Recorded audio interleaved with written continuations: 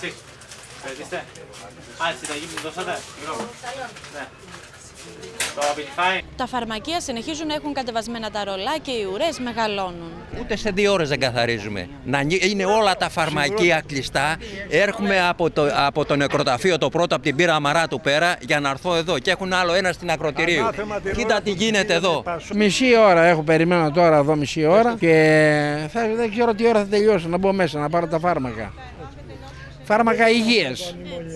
Για καρδιές, άμεση ανάγκη άμεση. Εντάξει, θα περιμένουμε κάνα μισάρο, πιστεύω να ξεμπερδεύει η δουλειά. Φαρμακοποιοί και κυβέρνηση δεν τα βρήκαν και από ό,τι φαίνεται την κόντρα πληρώνουν οι πολίτες. Κοίτα κορίτσι μου τι γίνεται και όχι να ανοίξουν άλλο ένα πιο πέρα, να βοηθήσουν τον κόσμο.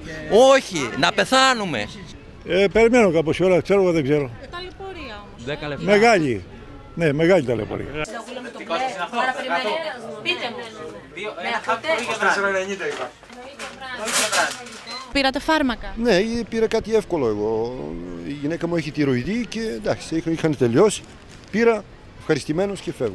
Πόση ώρα περιμένατε; 25 λεπτά από τη στιγμή που άνοιξε. Μια ώρα. Μία ώρα μόνο. Ακόμη θα περιμένω μια ώρα. Είναι φάρμακα που τα έχετε ανάγκη; Ναι, βέβαια, βέβαια. Πολύ ανάγκη. Πολύ ανάγκη. Αυτά τα δύο φάρμακα. Οι φαρμακοποιοί έχουν αποφασίσει την πραγματοποίηση 24ωρων κυλιόμενων απεργιών αντιδρώντας στι προωθούμενες αλλαγές στο ιδιοκτησιακό καθεστώς που αφορά τον κλάδο. Αντιδρούν στις προωθούμενες αλλαγές στο ιδιοκτησιακό καθεστώς των φαρμακείων που επιτρέπει την ίδρυση και τη λειτουργία φαρμακείων από μη φαρμακοποιούς.